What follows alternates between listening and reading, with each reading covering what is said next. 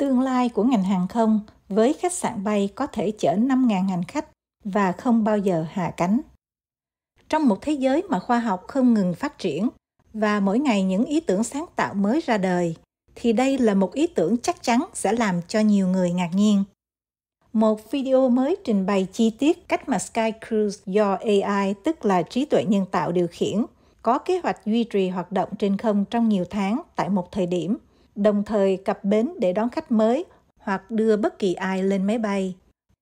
Cùng các nhà hàng, trung tâm mua sắm, một khách sạn bay khổng lồ trong tương lai với sức chứa khoảng 5.000 hành khách, cùng các tiện nghi căn bản như phòng tập thể dục và hồ bơi, tất cả đều ở trên bầu trời trong nhiều năm. Hashem El Ghali, nhà thiết kế của Sky Cruise, người đã tạo ra bản mô phỏng cực kỳ chi tiết của chiếc máy bay quái vật, đã mô tả chiếc máy bay này là tương lai của phương tiện giao thông và giải thích rằng các hãng hàng không thông thường sẽ vận chuyển hành khách đến và đi từ Sky Cruise. Nó sẽ không bao giờ chạm đất. Điều đáng ngạc nhiên nhất về khái niệm này là nó được thiết kế để ở trên không trong thời gian dài vì nó sẽ được cung cấp năng lượng hạt nhân thông qua 20 động cơ tổng hợp hạt nhân. Được thiết kế để hoạt động 24 trên 7, Al thậm chí còn cho biết thêm rằng ngay cả công việc sửa chữa và bảo trì khác cũng sẽ diễn ra khi Sky Cruise bay. Đây là công việc đầu tiên trong ngành hàng không được thiết kế. Khi được hỏi cần đội ngũ bao nhiêu người để vận hành được chiếc máy bay khổng lồ này, Harsham cho biết toàn bộ quá trình hoạt động của máy bay sẽ do AI đảm nhận, hoàn toàn tự động. Mặc dù có kế hoạch cho một chuyến đi không người lái, Sky Cruise cũng không phủ nhận việc vẫn cần rất nhiều nhân viên trên tàu túc trực phục vụ cho hành khách. Sự kết hợp tương lai giữa máy bay và khách sạn được thiết kế không bao giờ hạ cánh. Sky Cruise cũng hứa hẹn UFO của con người sẽ trở thành địa điểm tổ chức đám cưới hoàn hảo nếu chúng ta đủ can đảm, vì tất cả các hoạt động lẫn dịch vụ đều diễn ra trên bầu trời. Và sẽ thật hoàn hảo khi Sky Cruise cung cấp một hội trường toàn cảnh cho tầm nhìn 360 độ ngoạn mục ra bên ngoài. Tuy nhiên, bất chấp sự vĩ đại được hứa hẹn, không phải ai cũng có thể nghĩ tới. Dù đây là một ý tưởng táo bạo, nhưng không phải ai cũng đồng tình. Một số người nhận xét rằng Sky Cruise giống như một con tàu Titanic mới, chỉ ra rất nhiều vấn đề với thiết kế của nó. Chiếc máy bay khổng lồ sẽ gặp vấn đề khi cất cánh và sẽ khác xa về mặt khí động học. Một hành khách lo lắng cho biết ý tưởng tuyệt vời khi đặt ra một lò phản ứng nhân tạo vào một thứ gì đó có thể gặp trục trặc và rơi ra khỏi bầu trời.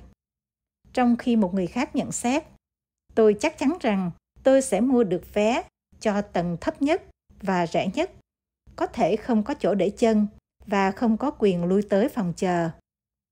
Chỉ ra rằng việc có thang máy lộ thiên đó là một điều đáng ngạc nhiên không phù hợp với khí động học và một chiếc máy bay chạy bằng lò phản ứng hạt nhân bị rơi, nó có thể làm phá hủy cả một thành phố. Và chi phí phát triển lớn cũng là mối quan tâm khác. Một số người dự đoán rằng một chuyến đi như thế này sẽ tiêu tốn rất nhiều tiền. Họ nói, mặc dù đây là một khái niệm rất thú vị và nó có khả năng xây cất bằng những kỹ nghệ hiện tại, hoàn toàn có thể đáp ứng được, nhưng chắc chắn nó chỉ phù hợp cho giới thật giàu có vì chi phí cực kỳ đắt đỏ. Tuy nhiên, những người khác cũng rất muốn trở thành những người đầu tiên trên tàu. Một người khác cho rằng, thật là vui, nó giống như ai đó đã vào cổ máy thời gian, du hành đến năm 2070, tìm thấy một video về chủ nghĩa ngược thời gian dựa trên thời đại của chúng ta. Trái ngược với những năm 1950 hoặc là 1800, mô tả những người từ thời đại của chúng ta nghĩ rằng tương lai của chúng ta sẽ như thế nào. Và một người khác nữa viết rằng, tôi thà thích một phi thuyền hạt nhân hơn, vì không gian có sẵn sẽ lớn hơn nhiều. Nhưng tuy nhiên, sự sáng tạo đằng sau ý tưởng thật tuyệt vời và tôi hy vọng các nhà lập kế hoạch sẽ đến được một nơi nào đó vào một ngày nào đó. Trong khi nhiều người đặt hy vọng vào khách sạn khổng lồ, Sky Cruise vẫn còn rất xa trong tương lai. Ngay cả một chiếc máy bay như thế này được chế tạo vào một ngày nào đó, có thể có một số thứ không bao giờ có thể thay đổi. Như một người bình luận đã chỉ ra, tôi cá rằng cuối cùng tôi vẫn ở bên cạnh những đứa bé 3 tuổi hét lên trong suốt chuyến đi.